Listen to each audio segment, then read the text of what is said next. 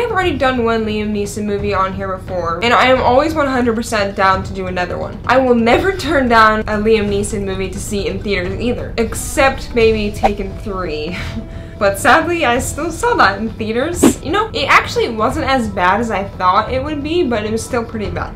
Anyways, let's get to the point. Hey guys, thanks so much for watching Johnnie June Movie Reviews. I'm JJ, and let's get started, shall we? I'm the only one ever cared about you. And all of that ended an hour ago when you killed my son. I pulled the trigger. I killed Abby.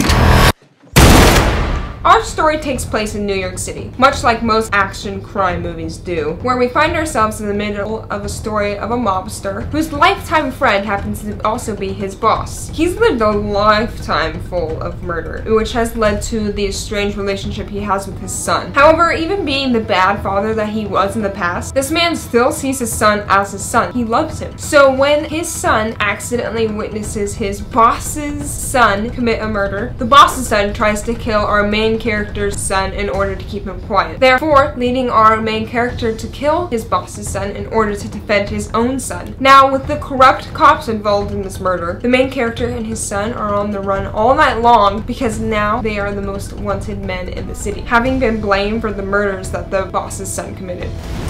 Sean's gonna come after you, Michael. And if he can't get to you, he's gonna go after your family. This has gotta end tonight. Tell everyone to get ready. Jimmy's coming.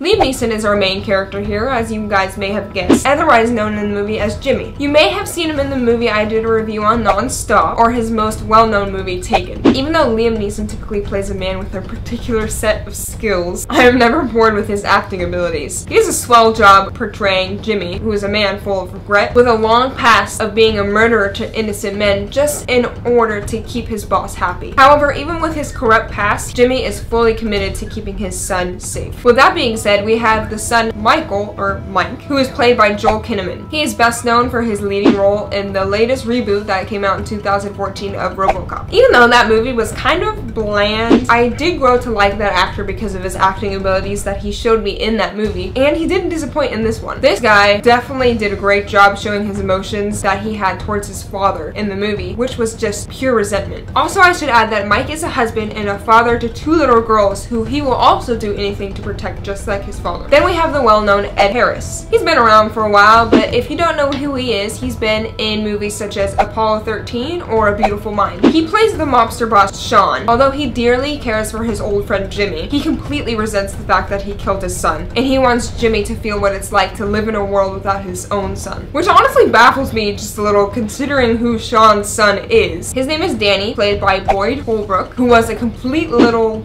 jerk. He plays a typical spoiled little mobster boss's son who does whatever he wants. I did recognize this actor for being in the movie A Walk Amongst the Tombstones, which is also a Liam Neeson movie, and that came out last year. Next, we have the cop, who, in like so many other movies, is the good cop who has been working for so many years in order to prove a man guilty that he's been chasing down. The actor who plays this cop's name is Vincent D'Onofrio, and I also recognize this actor from the movie The Judge, which also came out in 2014. Lastly, we have our trained killer Price, who is played by Common? Common? I don't know, but I looked him up and he didn't have a last name according to the internet, so.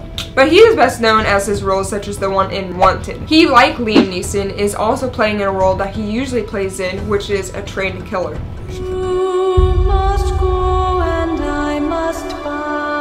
You've got to worry about staying alive. I'm the best chance you've got. Listen to your father for one night. One night. So the effects. They were normal. Gunshots looked normal. However, there were certain parts where they were showed transitions from one character to another with one fluid motion of the camera from our point of view. I wasn't too crazy about that because it kind of gave me the feeling of a low budget movie. However, I did like the originality of it and how it kind of gave you a perspective of how big New York City is and how close these characters could be to each other.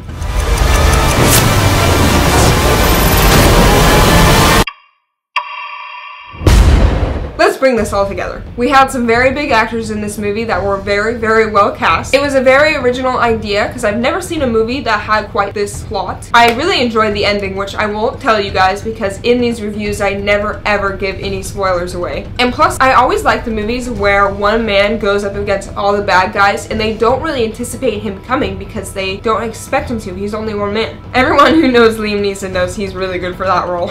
So to put these few points together, I give this movie a 7.7 out of 10, which falls under the rating of good and very good. I was very much entertained by this movie and never found there to be a dull moment. It definitely is a movie you would want to spend your money on in theaters. Anyways, that's about it, you guys. I hope you enjoyed watching, and I hope some of that was informational for you on whether you wanted to go spend the money to see it in theaters or not. If you are interested in my rating system, just scroll down. It will be in the description box. And if you so desire, leave me some comments and tell me what you guys thought of this movie. I always enjoy conversations about that with you guys. Don't forget to subscribe, and see you guys next Friday for the next movie review.